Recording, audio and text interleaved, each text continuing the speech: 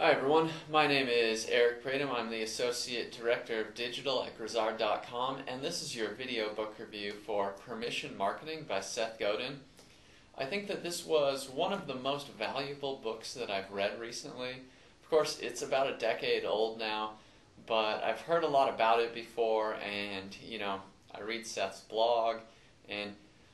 it's it's really consistent with a lot of the ideas that I've been exposed to but what I think was really valuable for me and what I think would be really valuable for nonprofits, small businesses, entrepreneurs, marketing students especially, and marketing managers, CMOs, the, what I think is really valuable is the idea that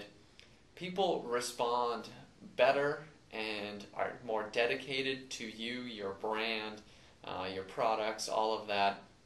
if they have given you permission to talk with them, if they've given permission to you to sell things to them, and of course the name of the book is Permission Marketing, so that's probably self-explanatory, but the way that he details how certain companies have uh,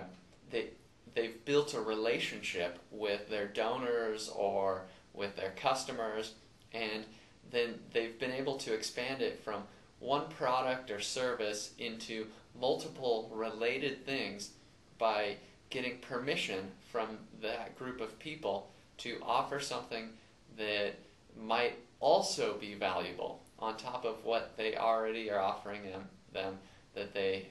that the donor or you know customer has said is valuable. I wasn't that interested or convinced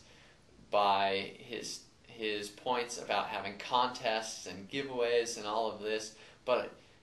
some of the work experience that I've had has shown that, especially in social media, short term contests and giveaways can be effective. I just don't tend to like those personally. I don't feel like it gets you a lot in the long term,